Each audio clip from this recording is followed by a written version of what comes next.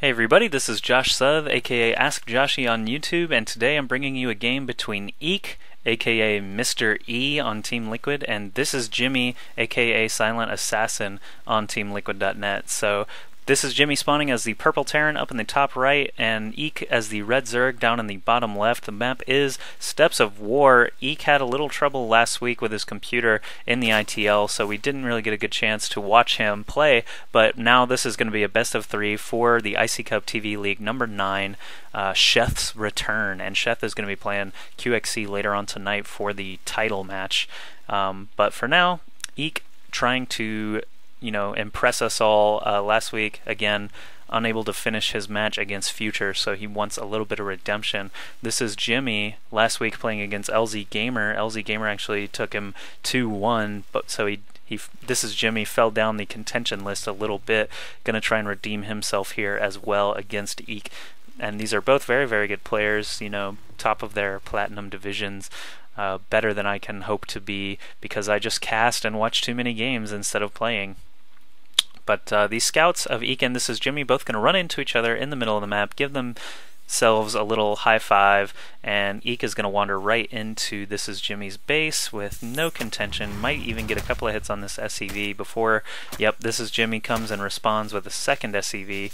So if Eek can keep on that SCV, he might be able to kill it before he goes down. He's going to give it a try. Only two more hits on this SCV and it'll be enough, but the drone having to evade this other SCV, look how hidden that SCV is. You cannot see him from any angle. Oh, there he is. If uh, Eek can just switch his camera, if he can find the time to micro and switch his camera view, he will be able to find it. Oh, he's too late. The barracks finished.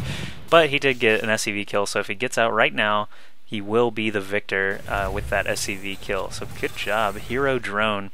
Uh, Tech Lab already coming out. Wow, I missed the uh, early gas there, but this is Jimmy just because of that so super exciting drone versus SCV battle. Eek also taking a fast expansion um, after starting his spawning pool and getting an extractor around the same time. So Eek actually, oh well, looks like Eek get that hatchery first before any of it because it is pretty far along already. But um, typical stuff out of both players. This is Jimmy actually trying to build a bunker outside of this natural. Um, he only brought one SCV along for the ride, and I don't think Eek is going to allow that to happen. So this is Jimmy's SCV gets chased out, no problem. He's going to send a second SCV now to continue the harassment, but this hatchery is already completed. The spawning pool should be, yep, spawning pool's done as well. So with that Overlord spawning, I'm sure Eek is going to prepare and start building a couple of uh, Zerglings to help fight this off. But it looks like these drones are such ballers, they don't even really care. Oh, this is Jimmy getting a Reaper on the scene. That'll slow down Eek, and this bunker will be uh, finishing very soon. You know, Zerglings are on the way, but the bunker's going to finish. Will this is Jimmy? Yes, he will get his Reaper into the bunker on time, but um, they are quickly slain and forced to run away.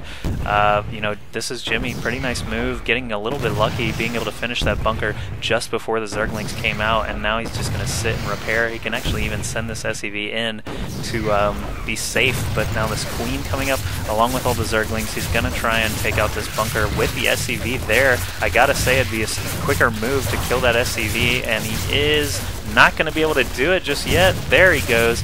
And the Queen and the four Zerglings still trying to take out this bunker. At least it's not being repaired anymore. And this Queen, not taking extra damage from the Reapers, is going to be able to kill it on its own. This bunker is actually going to burn down. But this is Jimmy has a third Reaper on the scene, and they are going to be pretty uh, tough to you know deal with for Eek. Obviously, being unable to expand already, if he can get these Reapers microed pretty well, he's going to be able to kill these Zerglings no problem, and probably be able to take out this Queen. Um, we'll just have to see if he's able to do it before losing all his Reapers. You know, he really wants that Queen kill, but if he has to kill a bunch of Zerglings first to do it, um, he may end up not getting the kill. And, the, you know, I'm actually a little surprised he's continuing with this. It looks like he had some early success with the Reapers, but at this point, I can't really condone continuing with this push. Um, he really wants that hatchery dead, though, and he's in a good position to do it. Hopefully he can snipe this drone before it starts building that spine crawler. Oh no, so all these Zerglings trying to surround. It looks like one of these Reapers. Oh, excellent cliff jump right there. Perfect timing to get away from those Lings. And, uh, you know, Reapers do siege damage against these um. You know, pretty good damage. Let me check actually what it is. 30 damage a grenade, and so three Reapers able to take out that hatchery and all these broodlings chasing the reapers they're gonna get away uh, no problem these broodlings die over time anyway so this is Jimmy with two full health reapers well, not anymore. I spoke a little soon, but uh, if he, if Eek is able to focus fire even just a little bit, he'll he'll be able to kill at least one of these Reapers, probably even two, pretty quickly. Um, you know, he is forced to build Zerglings over and over and over while he gets this Lair Tech up, and this Queen that ran away from the natural expansion earlier is probably going to go down here in just a moment, and there he goes. So th actually, this is Jimmy in perfect condition here, just blowing through. He actually left a Reaper over here outside of the natural, but uh, for now, what did what happened? All those Zerglings must have spawned at once. I see a lot of blood there, but I'm actually very surprised. I did not think that was going to happen. Oh man, so Eek able to battle it off after all. Man, good timing with the Zerglings. His Reapers must have been really out of position for the Zerglings to be able to kill them like that.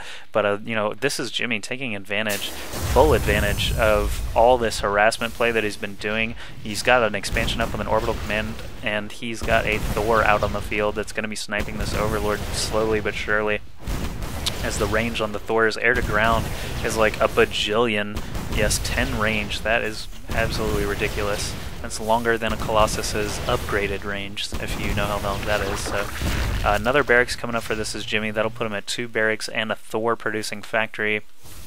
Also got an engineering bay up, but I don't, um, no, he hasn't upgraded anything yet, so it'll be interesting to see if he just built that to get turrets or what. But now Eek with a counteroffensive a lot of Zerglings trying to take on this Thor, but a planetary fortress. Uh, Eek just says, yikes, GG. He knows he's behind. He saw the Thor, he saw the planetary fortress, he knows he's been out expanded. Oh man, this is Jimmy taking this first game, no problem.